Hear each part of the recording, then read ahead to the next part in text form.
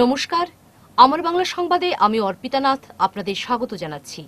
প্রথমে সংবাদ শিরোনাম।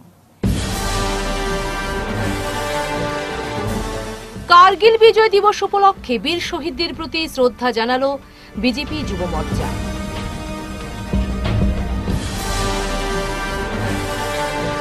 শালচাপড়া এলাকায় পানীয় জল প্রকল্প পরিদর্শন মন্ত্রী বড়ুয়ার। আলোচনা স্থানীয়দের সাথে।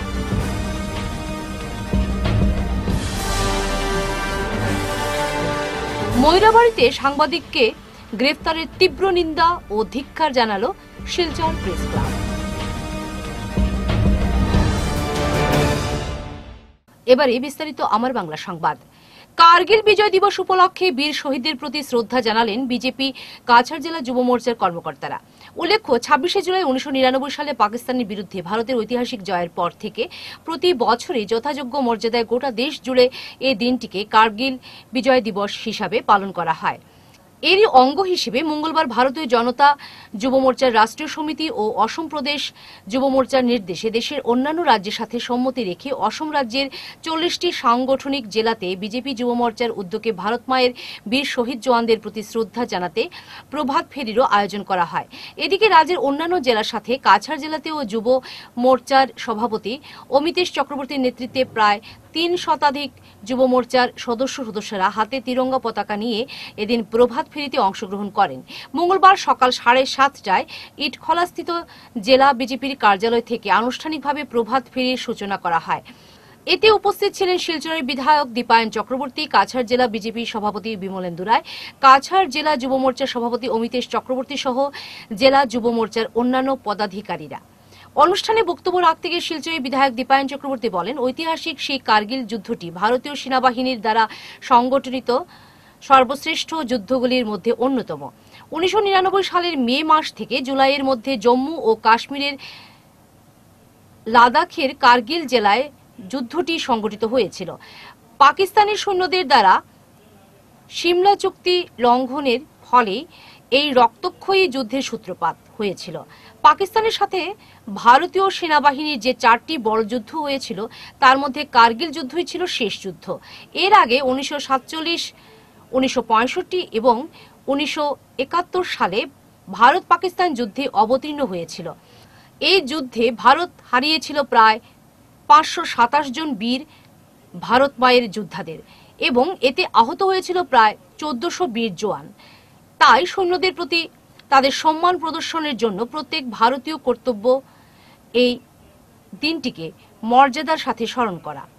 এছাড়াও অনুষ্ঠানে বক্তব্য রাখেন কাছাড় বিজেপির সভাপতি বিমলেন্দু রায়, জেলা যুব মোর্চার সভাপতি অমিতেশ চক্রবর্তী প্রমুখ। এদিনে প্রভাত ফেরিতে অন্যান্যদের মধ্যে অংশগ্রহণ করেন জেলা বিজেপির সম্পাদক সৌমিত্র কুমার দেব, আসাম প্রদেশ যুব মোর্চার আইটি সেলের কনভেনার ওজস্বী দাস জেলা যুব মোর্চার সাধারণ সম্পাদক সোহম ঠাকুর, জেলা যুব মোর্চার সহসভাপতি বিমল দাস, রঞ্জিত রায়, সুকান্ত শুক্লবৈদ্য সহ অন্যান্য জেলা যুব মোর্চার পদাধিকারী ও মণ্ডল স্তরের সদস্য সদস্যরা। আমরা জানি যে আজকের দিনে কার্গিল বিজয় দিবস মানানো হচ্ছে।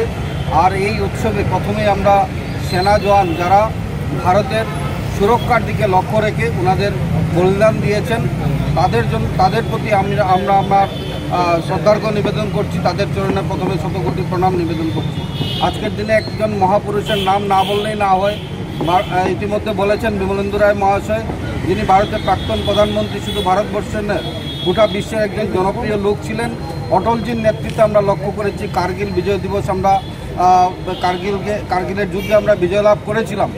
একটা প্রতিকূল পরিস্থিতির মাধ্যমে মাধ্যমে সেই দিদি আমরা লক্ষ্য করেছি যে এই প্রায় তিন মাস ব্যাপী যে যুদ্ধ চলেছিল সেই যুদ্ধে আমাদের ভারতীয় সেনা জওয়ানরা একটা প্রতিকূল পরিস্থিতিতে ছিলেন, একদম নিচে ছিলেন।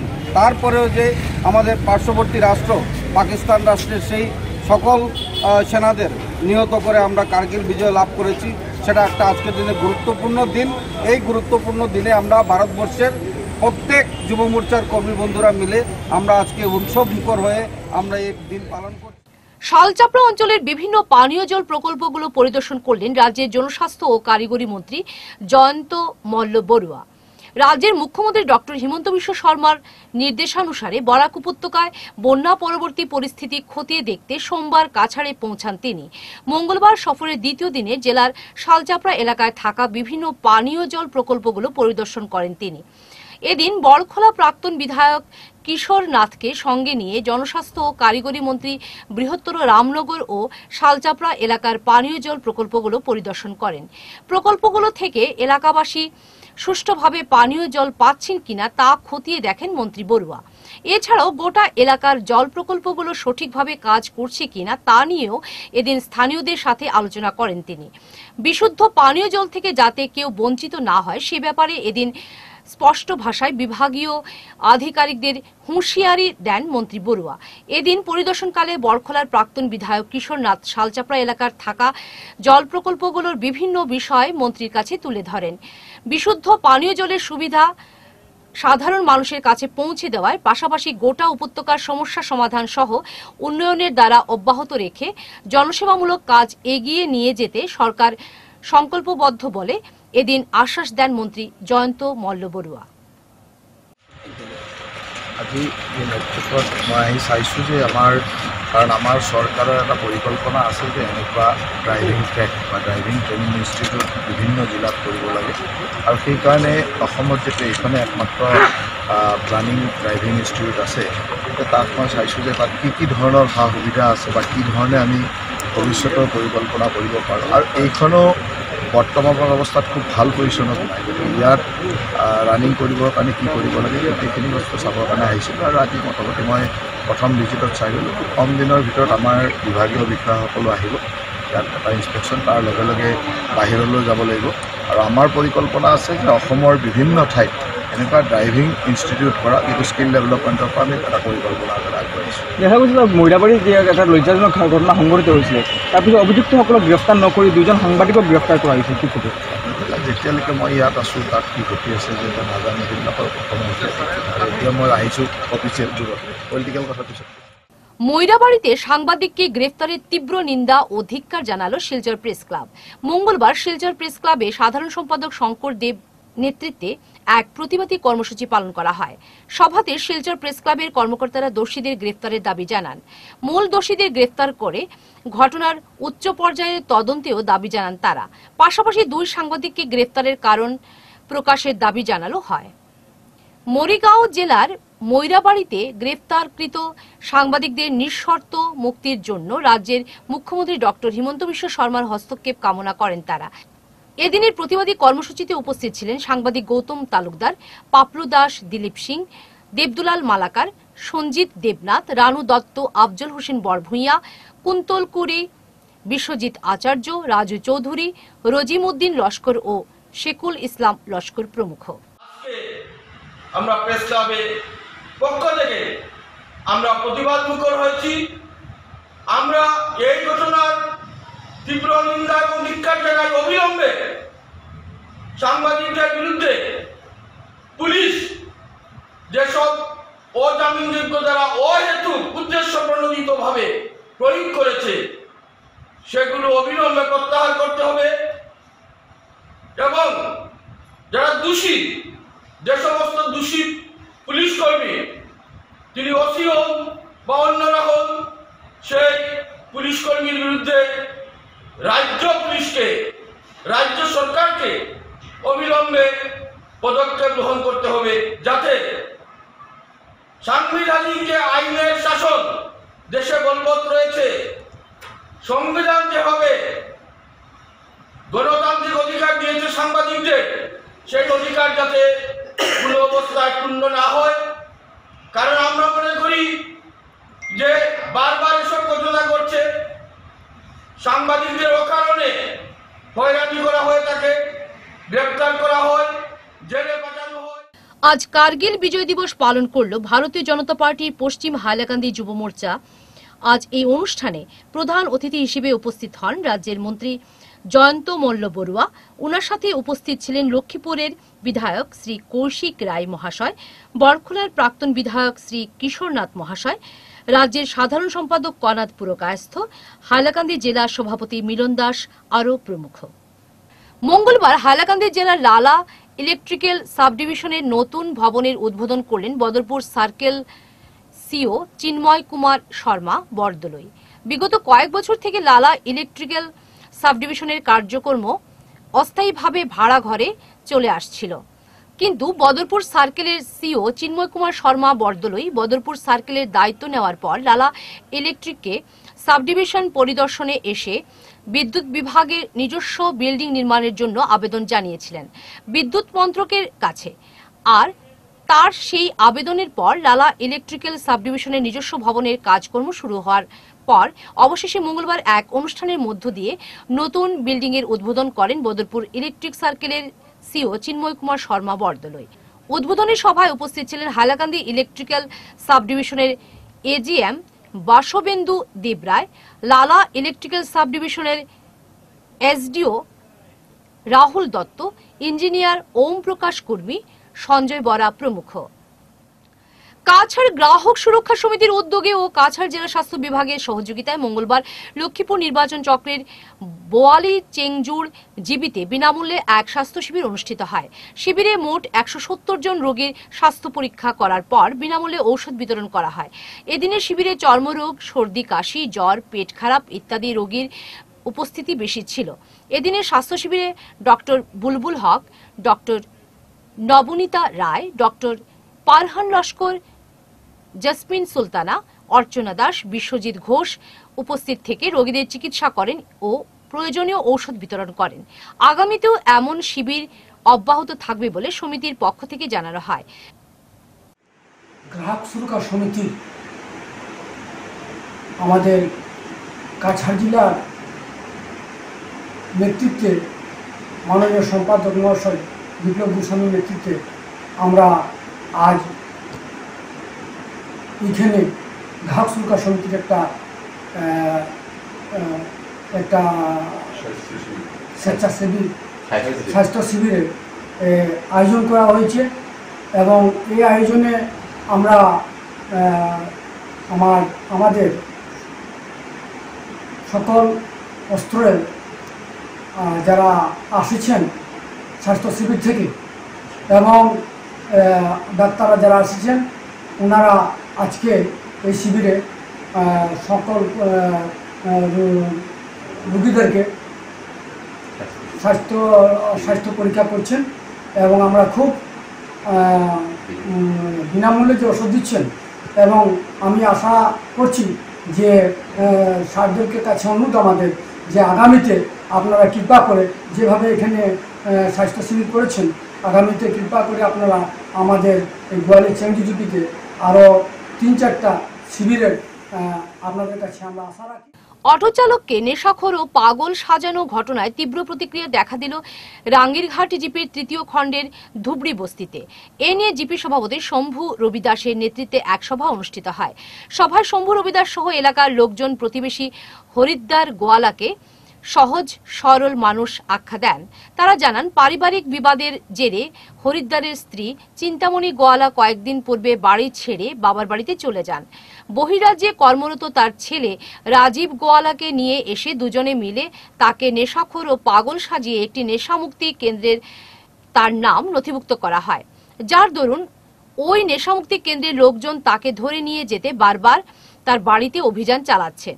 এতে আতঙ্কে দিন কাটাচ্ছেন অসহায় অটোচালক এদিকে হরিদ্বারের মন্তব্য তার সম্পত্তি আত্মসাৎ করার জন্য এই চেষ্টা করছেন তার স্ত্রী ও পুত্র। আর এতে মদত যোগাচ্ছে তার শালক চুন্নিলাল গোয়ালা। এ নিয়ে আইনের দ্বারস্থ হবেন বলে জানান তিনি। আমারে দুই একদিন তাকিয়া আমার গ্রামের ছেলে একজন আমার বাড়ির কিনারও। হ্যাঁ আমার বাসার বাড়ির কিনারও আমার কিনারও বাড়ি। এই ছেলেটা এডিট নাই। হে তার হইল হরিদুয়ার গোয়ালা, আর তার বাপও এইখানে বহাত আছেন আর এডিট সেন্টার থাকিয়া মানুষ আইসেন তারে দরিয়া নিতা করিয়া। আমরা গ্রামবাসী সবে মিলিয়া তারে প্রমাণ দিয়া যে এই ছেলেটা এডিট নাই।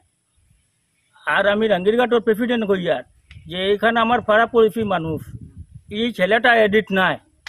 এই ছেলেটা হইল তার তার যে যে বেটি আছে আর তার ছেলে, তারা কিছু কারণে বাড়ির সম্পর্ক কিছু তারা মনোমালিন্য আছে, তারা গরুর মাঝে কিছু কাজিয়া বাজিয়া আছে। এর লাগিয়া তারা কইতরা যে ছেলে এই তারে যে ছেলে ছেলে যেটা করছে, এডিট সেন্টারও গিয়া যে তারা সাজাইছে যে পাগল কইয়া। কিন্তু এটা আমরা পাড়া পড়েছি মানতাম পারিয়ার না। আমি নিজে প্রেসিডেন্ট হইয়া কইয়ার যে এখান এডিট নাই। এই ভালো মানুষ একজন। আর তারে ছেলে আর তার তার বেটিয়ে, তারে এডিট বানাইতরা পাগল সাজাইতরা পাগল সাজাইয়া তার বাপও আছে, ছেলের বাপও। আর তাহি বালা মানুষ। কার্গিল বিজয় দিবস উপলক্ষে বীর শহীদদের শ্রদ্ধা নিবেদন করলেন লায়ন্স ক্লাব অব শিলচর ভ্যালির কর্মকর্তারা। মঙ্গলবার তারাপুর স্থিত কার্গিল বিজয় স্মৃতিসৌধের সম্মুখে উপস্থিত হয়ে পুষ্পস্তবক অর্পণ করে বীর শহীদদের প্রতি শ্রদ্ধাঞ্জলি জ্ঞাপন করেন ভ্যালির কর্মকর্তারা। এতে উপস্থিত ছিলেন সম্পাদক সঞ্জীব রায়, কোষাধ্যক্ষ Kaushik Pada Bhattacharya, project chairperson doctor Dipanjan Deb, Animesh Bhattacharya, Bandita Trivedi Roy সহ অনেকে।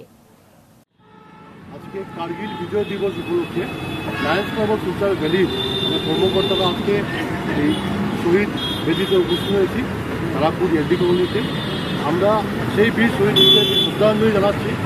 যারা উনিশশো নিরানব্বই সালে পাকিস্তানের যে দুষ্কৃতিকারী, ওদের সাথে লড়াই করে নিজের প্রাণ আহুতি দিয়েছিলেন এবং টাইগার হিল যেভাবে ষড়যন্ত্র করে এই দুষ্কৃতিকারীরা দখল করেছিল, আমাদের বীর জওয়ানরা নিজের প্রাণের আহুতি দিয়ে লড়াই করে সেই টাইগার হিল, যাকে আমাদের গর্ব বলে আমরা মনে করি ভারতবর্ষে সেই টাইগার হিলকে পুনরুদ্ধার করেছিল। আজকে এখানে দাঁড়িয়ে আমরা প্রত্যেক বীর শহীদকে শ্রদ্ধাঞ্জলি জানাচ্ছি এবং আশা করছি যে ওদের আদর্শ নিয়ে, ওদের নীতি আদর্শ নিয়ে আমরা এগিয়ে যাব। আগামী দিনে ভারতের সুরক্ষা দায়িত্ব শুধু আর্মির হাতে না দিয়ে আমরা যারা নাগরিকরা আছি আমরা এই গুরুদায়িত্ব পালন করব। সাথেই আজকে এমন একটি দিন, ছাব্বিশে জুলাই গত বছর লায়লাপুরে বিদ্রোহ দুষ্কৃতিকারী দ্বারা আমাদের ছয়জন আসাম পুলিশ জওয়ানকে হত্যা করা হয়েছিল। আজকে এখানে দাঁড়িয়ে আমরা সেই ছয় জওয়ানকেও আমরা শ্রদ্ধাঞ্জলি জানাচ্ছি। ভুবন হিল জিপির সভাপতি নিহার রঞ্জন শুক্লবৈদ্যের বিরুদ্ধে সামাজিক মাধ্যমে অপপ্রচার চালানো হচ্ছে। মঙ্গলবার ভুবন হিল জিপির নিকামাপার কমিউনিটি হলে এক সাংবাদিক সম্মেলন করে এই দাবি করেন জিপির গ্রুপ সদস্য ও বিশিষ্ট ব্যক্তিরা।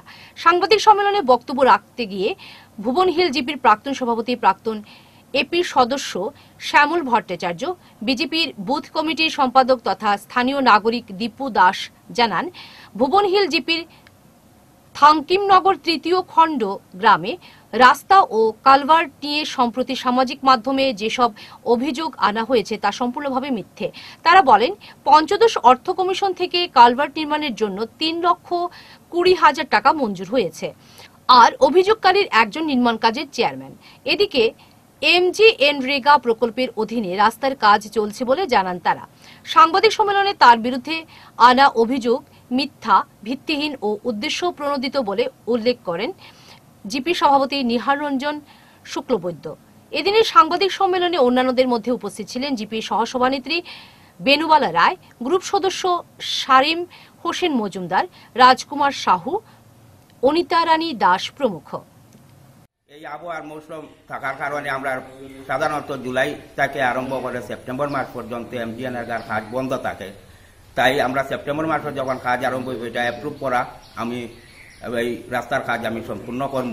তৃতীয় কৈছেন যে তারা, যে অরুণোদয়ের ব্যাপার অরুণোদয়ের ব্যবহারটা, এটা হইল গভর্নমেন্টের একটা ক্যাটেরিয়া আছে। তার এইভাবে দিতে লাগে। প্রথমে বিধবা, বিকলাঙ্গ, এরপরে আমরা কোয়া হয়েছিল যে যারা খাদ্য সুরক্ষার কার্ড নাই, তারারে আমরা অষ্টাশি পরিবার তারারে দেওয়া হয়েছে যারা, আমার দুঃখ লাগে, এই গ্রুপটাও বহুত বড় গ্রুপ এখানে অনেক বিধবা মহিলা বাকি রয়েছেন, আমি আশা রাখব যে আগস্ট মাসে যখন ক্রম আইব, তখন এই যারা বঞ্চিত হয়েছেন, তারার এই, তারার অনুদানটা আমি দেওয়ার চেষ্টা করি চতুর্থ তারা কইছে যে জল জীবন মিশন যেটা এখানেও দেখুন আমার ভুবনীল জিপির ফার্স্টটা কাজ আরম্ভ হয়েছে। এখনও আমি, তারা কাজ শেষ হওয়ার পরে গভর্নমেন্টের নিয়মে কইছে যে এটা পঞ্চায়েত হ্যান্ড ওভার করার লাগিয়া। আমি যতটুক জানি যে আমার যতটা কাজ এখনও একটা সম্পূর্ণ হয়েছে না, আর সম্পূর্ণ বা আমার গ্রামের যতজন যতটা আইপিং আছে যদি সব জায়গার জল না যায়, তখনও আমি দায়িত্ববার আমি গ্রহণ করতাম না। আমিও তারা কন্ট্রাক্টর বা ইঞ্জিনিয়ারকে আমিও কইছি যে, তারা যে কোনোভাবে হোক আমার এই ভুবনীল গাঁও পঞ্চায়েতর যাতে কোনো পরিবার তাতে জল জীবন থাকি বঞ্চিত না হয়। চলে গেলেন হাইলাকান্দি জেলার প্রবীণ শিক্ষাবিদ তথা সমাজসেবী হাইলাকান্দি রোটারি ক্লাবের প্রথম সভাপতি মানসকান্তি দাস। সোমবার দুপুর দুটো পনেরো মিনিট নাগাদ হাইলাকান্দি শহরের কালীবাড়ি রোডের নিজ বাসভবনে শেষ নিঃশ্বাস ত্যাগ করেন। মৃত্যুকালে বয়স হয়েছিল উননব্বই বছর। গত শুক্রবার রাতে আকস্মিকভাবে মস্তিষ্কে রক্তক্ষরণ হলে তাকে শিলচরের এক বেসরকারি হাসপাতালে ভর্তি করা হলে শারীরিক অবস্থার কোনো উন্নতি না হওয়ায় চিকিৎসকের পরামর্শ মতে তাকে বাড়িতে নিয়ে আসা হয়। মৃত্যুকালে তিনি রেখে গেছেন এক ছেলে, এক মেয়ে, পুত্রবধূ, জামাতা, এক ভাই, নাতি, নাতনি সহ অসংখ্য গুণমুগ্ধ। তার মৃত্যুর খবর ছড়িয়ে পড়তেই বহু সংগঠনের কর্মকর্তারা ভিড় জমান তার বাড়িতে। রোটারি ক্লাবের পক্ষ থেকে তাকে শেষ শ্রদ্ধা জানানো হয়। এছাড়াও শ্রদ্ধা জানান নাগরিক আধিকারিক সুরক্ষা সমিতি, the Greens Barak valley voluntary blood donors forum, Hailakandi শাখা, রামকৃষ্ণ সেবা সমিতির সহ বহু সংগঠনের কর্মকর্তারা। উধারবন্দ গোসাইপুর গ্রামের প্রত্যন্ত দুর্গানগর ও আলী গ্রামের সাত নম্বর খণ্ডের, বিশেষ করে যাতায়াতের রাস্তার পুরোদমে বেহাল অবস্থা। পাশাপাশি এলাকায় নেই সঠিকভাবে বিদ্যুৎ ও স্বাস্থ্য পরিষেবা। উক্ত গ্রামটিতে বসবাস করছেন হিন্দু মুসলমান সহ আদিবাসী জাতির মানুষ। মিলে প্রায় এক হাজার পরিবার। সুদীর্ঘ কয়েক বছর থেকে সরকারি উন্নয়নের ছোঁয়া থেকে বঞ্চিত এই গ্রামের বসবাসকারীরা। বৃষ্টির মরশুমে তীব্র সমস্যার সম্মুখীন করতে হয় স্থানীয়দের। প্রত্যেক বছর সরকারের তরফ থেকে উন্নয়নের নামে লক্ষ লক্ষ টাকা বরাদ্দ করা হলেও সেগুলো আত্মসাৎ করছেন জিপি সভাপতি বলে অভিযোগ করেন স্থানীয়রা। গোসাইপুর দুর্গানগর জিপি পঞ্চায়েত সভাপতি নসরুল ইসলাম বরলস্কর ও জিপির কর্মকর্তাদের যোগ সাজাশে হরিলুট হচ্ছে এবং এর ফলস্বরূপ এই উধারবন্দ বিধানসভার অধীনে থাকা গোসাইপুর দুর্গানগর আলীর গ্রামের একশো শতাংশ খেটে খাওয়া ও দিনমজুর মানুষ বসবাসকারী জনগণের দুর্ভোগ পোহাতে হচ্ছে বছরের পর বছর বলে অভিযোগ করেন স্থানীয়রা। মঙ্গলবার সংবাদ মাধ্যমে বিষয়টি নিয়ে উপযুক্ত পদক্ষেপ গ্রহণ করতে রাজ্যের মুখ্যমন্ত্রী ডক্টর হিমন্ত বিশ্ব শর্মা ও উধারবন্দের বিধায়ক মিহিরকান্তি সোম সহ জেলা শাসকের কাছে জোরালো আবেদন জানান রবিজুল হক বরভূঁইয়া, হোসেন আহমেদ বরভূঁইয়া, নূর আবেশ বরভূঁইয়া, রিনা রবিদাস, সুনিতা রি মলিনা দাস, মকবুল উদ্দিন বরভূঁইয়া সহ অনেকে।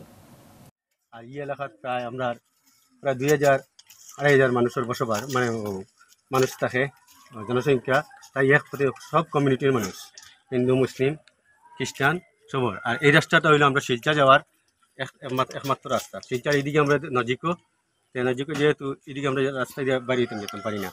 আর রাস্তার মধ্যে আমরা যে গোসাইপুর, দুর্গানগর, জিপের মধ্যে যেটা খাজ আয়, এই খাজগুলা ফুরা মতো খাজটাও পায় না যা আয় অর্ধেক কাজ করিয়া অর্ধেক টাকা নাইও যায় মানে নিঃশেষ হয়ে এটা কে করে এগুলা? কাজ হ্যাঁ? কাজগুলা কে করে? এইগুলো তো তো গ্রামের পঞ্চায়েতে তাই তার প্রতিনিধি দিয়া খারিয়া খারিয়া দিয়া করাইতে হয়, কিন্তু আমরা সঠিক জানি না। হ্যাঁ এটা এরপরে পঞ্চায়েতের নামটা কি?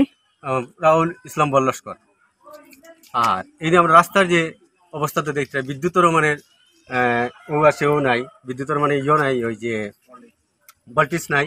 আর ও ইয়েও নাই, আমরা হসপিটালও ভালো নাই, জলও আমরা ভালো মতো পাই। জল এখানে আছে একটা পেয়েছি পেয়েছি আমরা এদিকে জল যেতে এখানে শেষ হয়ে যায়। মানে আমরা দূরে পড়ে গেছি, প্রায় এক কিলোমিটার আগে পেয়েছি, আর আমরা এক কিলোমিটার পরে। আদিবাসী বলে নয়, কঠিন অধ্যবসায়ের জন্য দেশের সর্বোচ্চ সাংবিধানিক আসনে স্থান পেতে সক্ষম হয়েছেন রাষ্ট্রপতি দ্রৌপদী মুর্মু। মঙ্গলবার গ্লোবাল পাবলিক স্কুলের এক অনুষ্ঠানে মুখ্য অতিথি হিসেবে উপস্থিত হয়ে পড়ুয়াদের উদ্দেশ্যে ঠিক এই মন্তব্য করেন সিআরপিএফ একশো সাতচল্লিশ ব্যাটালিয়নের অ্যাসিস্ট্যান্ট কমান্ডেন্ট পিসি পানিগ্রহী। উল্লেখ্য, রাষ্ট্রপতি দ্রৌপদী মুর্মুর ওড়িশার ময়ূরভঞ্জেরই বাসিন্দা কমান্ডেন্ট পিসি পানিগ্রাহী। বর্তমান শিলচর আইএসবিটিতে থাকা সিআরপিএফ ক্যাম্পের ইনচার্জ হিসেবে রয়েছেন তিনি। এদিন রামনগর গ্লোবাল পাবলিক স্কুলের ব্যবস্থাপনায় রাষ্ট্রপতি পদে দ্বিতীয় মহিলা হিসেবে দ্রৌপদী মুর্মু নির্বাচিত হয়, এক সভা আয়োজিত হয়।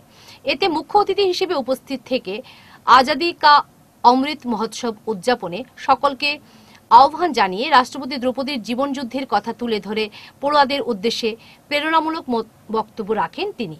অনুষ্ঠানে পড়ুয়াদের উদ্দেশ্যে রাষ্ট্রপতির কর্মজীবনের বিভিন্ন উল্লেখযোগ্য দিকগুলো তুলে ধরেন অধ্যক্ষা মধুমিতা দেব। এছাড়াও বক্তব্য রাখেন স্কুলের সাধারণ সম্পাদক আতাউর রহমান শিক্ষিকা সুমনা গোয়ালা সহ অন্যান্যরা बोलना नहीं चाहिए कि वो एक आदिवासी है आदिवासी से कोई मतलब नहीं आदिवासी से कोई टैग नहीं है अगर मैं पढ़ा लिखा हूँ मैं काबिल हूँ तो आदिवासी लगाने की कोई ज़रूरत नहीं ठीक है मेरे अंदर काबिलियत है मैं कहीं भी जा सकता हूँ ये कि नहीं कि आदिवासी के लिए मेरे को कोई स्पेशल कोटा मिला या मेरे को कोई दबा दिया गया ये नहीं होना चाहिए और वो बहुत स्ट्रगल है और उनका हस्बैंड और दो बेटा वो रहस्यमय मृत्यु हो गया उनको कोई पता नहीं चल पाया कैसे उनका एक्सपायर कैसे हुए कैसे नहीं। फिर भी वो स्ट्रगल किया एक लड़की के साथ अपना एक लड़की है उनके साथ बहुत स्ट्रगल किया ज़िंदगी में। फिर पहले राजनीति में आए स्टेट में मिनिस्टर एमएलए बने मिनिस्टर बने फिर गवर्नर बने फिर आके आज सर्वोच्च जो इंडिया के सर्वोच्च पद है उससे बड़ा कोई अ, राजनीतिक पद कोई है ही नहीं। उसमें काबिज तारीफ इनका जो अ, संघर्ष का जीवन बहुत काबिल শেষ করার আগে বিশেষ বিশেষ খবর আরও একবার কার্গিল বিজয় দিবস উপলক্ষে বীর শহীদদের প্রতি শ্রদ্ধা জানালো বিজেপি যুব মোর্চা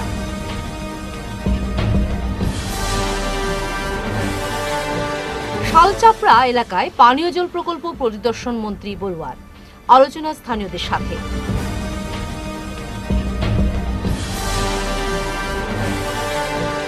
ময়রাবাড়িতে সাংবাদিককে গ্রেফতারের তীব্র নিন্দা ও ধিক্ষার জানালো শিলচর প্রেস ক্লাব।